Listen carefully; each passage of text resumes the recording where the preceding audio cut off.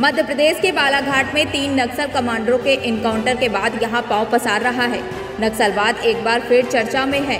आपको बता दें कि बालाघाट और आसपास के जंगलों में वर्तमान में छह दलम एक्टिव हैं। हर दलम में 20 मेंबर है। तो वहीं पुलिस मुख्यालय के अफसर भी मानते हैं कि बालाघाट और इसके आसपास अब भी 100 से 110 नक्सली एक्टिव हैं। पुलिस ने नक्सलियों का जो रिकॉर्ड तैयार किया है, उसमें कई के फ़ोटो तक पुलिस के पास नहीं है। जिनके फ़ोटो भी हैं, वो 10 से 20 साल पुराने हैं। ऐसे में अगर नक्सली पुलिस के सामने आ भी जाए तो उन्हें पहचानना बेहद मुश्किल हो जाएगा।